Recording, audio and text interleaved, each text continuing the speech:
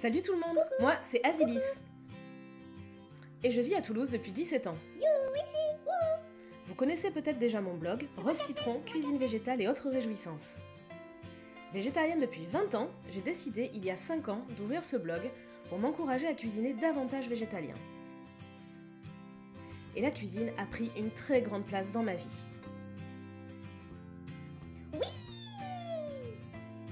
J'ai adoré découvrir de nouveaux ingrédients, faire des essais, me tromper, recommencer, et au final, réussir à créer une cuisine végétale gourmande et inventive. Ma façon de consommer a également évolué. Il y a encore quelques années, je n'avais jamais mis les pieds dans un magasin bio.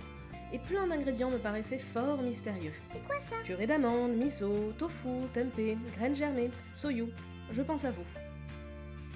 Aujourd'hui, je consomme essentiellement des produits bio, car ça me semble meilleur pour moi pour la planète et pour les producteurs. Autant que possible, j'aime aussi consommer local. La cuisine prenant une place de plus en plus importante dans ma vie, je me doutais qu'un jour, j'en ferais d'une manière ou d'une autre mon métier, mais je ne savais pas encore comment. Et puis, l'idée a germé. Il y avait ces petites préparations que je faisais goûter aux copains lors de nos brunchs ou de nos goûters. Dans le jargon vegan, on appelle ça du beurre de pomme, du beurre de poire. On n'a pas le droit de dire beurre c'est pas du beurre. Alors, j'ai appelé ça autrement. Devant le succès rencontré, j'ai perfectionné mes recettes, testé les modes de conservation, et c'est ainsi que les tartifruits sont nés. Ces crèmes à tartiner à base de fruits sont inédites en France. On peut les décrire comme un mix entre le beurre et la confiture, sauf qu'elles sont véganes et naturellement sans gluten. Elles sont délicieuses sur des tartines de pain, sur des crêpes, sur des pancakes, dans un porridge, avec un yaourt.